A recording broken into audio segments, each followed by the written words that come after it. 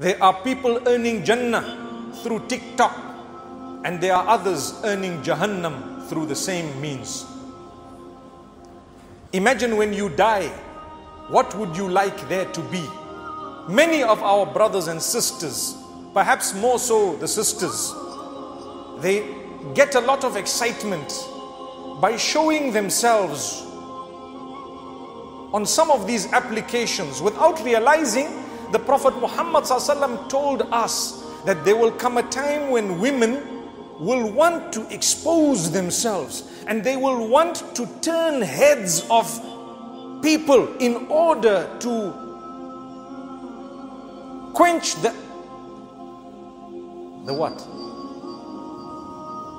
May allah grant us goodness. May allah protect us from harm.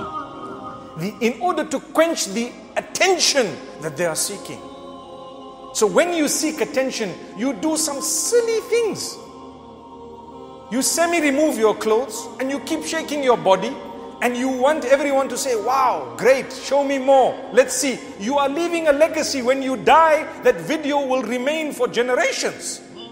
And where are you? You are with Allah. How did it help you, my sister? How did it help you, my brother?